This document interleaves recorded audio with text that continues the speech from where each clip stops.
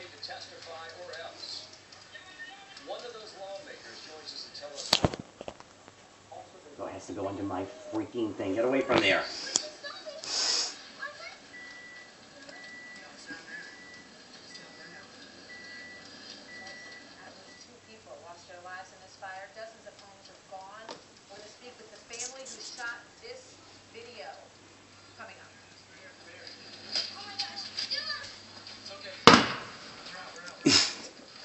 Did you get that? Yeah.